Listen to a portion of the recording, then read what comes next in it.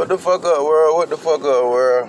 Real quick, real fast. I want to talk about the boots that uh, getting kicked off the uh, the tour, the down south uh, Street Kings tour. It's a big old, you know what I'm saying? Big old tour. If you don't know about it, it's a big tour going on. As far as the street legends, you know what I'm saying? You got Juvenile, fucking Gucci Mane, Jeezy, Rick Ross, all these, you know what I'm saying? Legends, you know what I'm saying? But my whole thing is, it wouldn't be a down south one without Boosie. Like, it really doesn't make any motherfucking sense.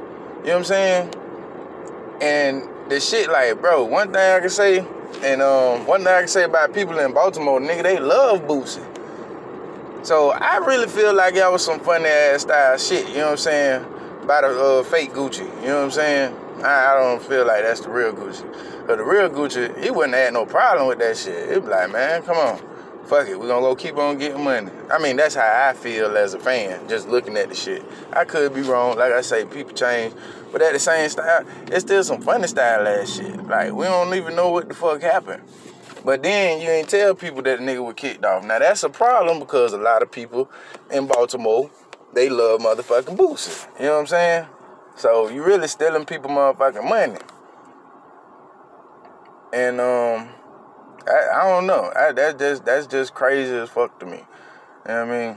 I felt like um I don't even really feel like it was more so Gucci. I feel like it was the people who were behind Gucci who was uh you know what I'm saying, paying for the concert. You know what I'm saying? Shareholders and all that good stuff, you know what I'm saying?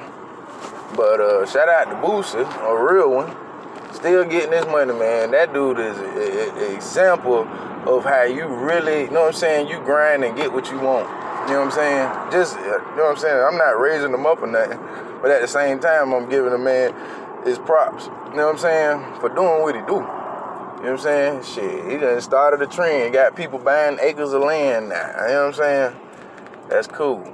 I wish I could buy some acres of land.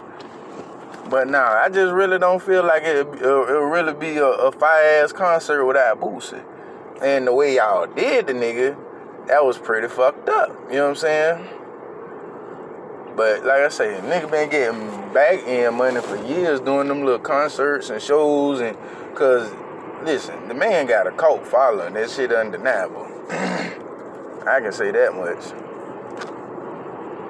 But um, yeah, that's just my whole thing. Do you think it the tour is still I mean, cause I feel like they lost a lot of money, especially going to Baltimore without Boosie and then not telling people that Boosie was there. You know what I'm saying?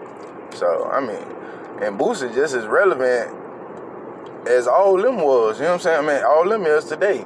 So they really needed that motherfucker. You know what I'm saying? And um, shit. Another thing, shit. He was rapping. He he bust out on the scene before them. Uh, before Gucci, before uh, Jeezy. You know what I'm saying? Shout out to Juvenile. He, you know what I'm saying? One of the people who started that shit. And is T.I. on the um? Is T.I. on the tour? Oh no, I'm tripping. Gucci Mane and T.I. don't like each other. Duh, I'm stupid. Damn, that see that all that shit. See, see what beef do. See what dumbass beef do. It keep you from enjoying the best shit in life. That would have been a bomb ass tour. I don't know, man. I don't know. I, I just got an opinion though, and um, I just felt like that was some dirty ass shit. You know what I'm saying? To kick the nigga off the tour and not tell everybody. You know what I'm saying? I'm speaking from a fan's perspective. I'm not even taking up for Boosie. You know what I'm saying? Or you never know what it could have been. It could have been contract obligations or, you know what I'm saying, anything. You know what I'm saying? Insurance policy. You never know. You know what I'm saying? But um, long story short, speaking from a fan perspective, yeah, that's funny style than the motherfucker. And the concert supposed to be coming here in Duval in November. Ah, you know what I mean? Like, damn, you know what I mean? Kind of conflicted. but nah, I do want to go to the concert, but it be, it's like, damn, Boosie ain't there. It's kind of sour. You know what I'm saying? It dampens the night. Uh, uh, put it's like it's like taking a piece from a, a picture. You know what I'm saying? Like, what the fuck? You don't you don't do that. But um, would have made a lot of money, man.